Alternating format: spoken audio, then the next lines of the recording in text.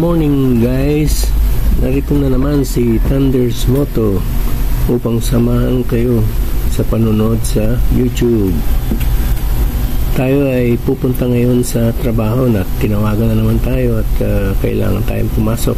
So habang papasok tayo ay kukuha tayo ng mga pictures na pwede nating i-upload sa YouTube para maging content ko. So, tara, samahan niyo ako. At ating baybayin itong uh, haba ng uh, traffic na ito sa ano, araw-araw po yan. So, medyo papatayin ko na yung muna yung aking uh, front cam at uh, medyo matagal-tagal po ito. So, ayan po. Uh, nagtutuloy na po tayo. Ay, halika po at samahan niyo ako hanggang uh, dulo. Kung kayo po ay bago, bago pa lamang dito sa akin channel, ay huwag kalimutan na mag-subscribe at mag-like. Pwede po kayong magawa ng comment. So, magandang araw po sa inyo. Ito si Thunders Moto. Ayos!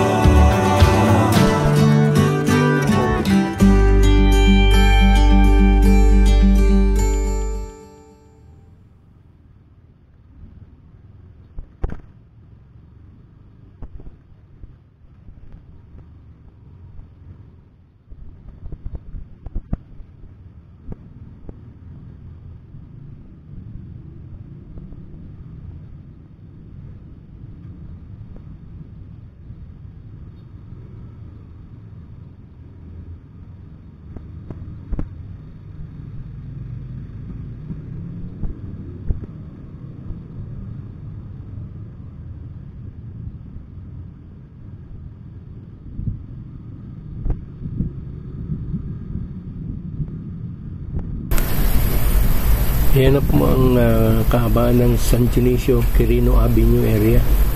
Kung mapapansin po ninyo ay medyo konti na lang ang construction dito. Kaya medyo malinis-linis na. Pero meron pa rin pong hinuhukay dyan sa may uh, tapat ng Jacinto Street. Uh, medyo maluwag-luwag na po ang uh, ano Ayan po napapansin ninyo. Malapit na po ang uh, aking pinapasukan. Yan pong mataas na building sa bandang kaliwa. Ang Escuela de San Dionisio. So, hanggang dito na lamang po mga kaibigan. At ito po si Thunder's Moto. Ayus!